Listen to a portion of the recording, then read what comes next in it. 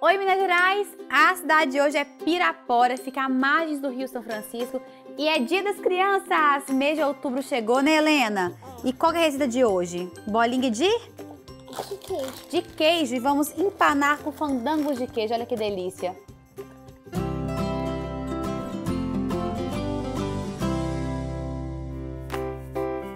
Em um bol, coloque o queijo ralado, o ovo, sal e o orégano. Amasse bem e acrescente o amido de milho. Incorpore na massa até ficar homogêneo. Faça bolinhas e leve para gelar por 10 minutos. Gelou? Passe as bolinhas nas claras e logo depois em nosso fandango sabor queijo. Empane e depois é só fritar ou fazer no airfry.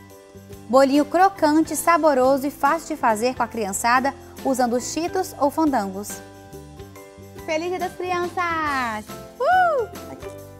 Gostou da receita? Então curte, comente e compartilhe que vai em nossas duas lojas em Pirapora.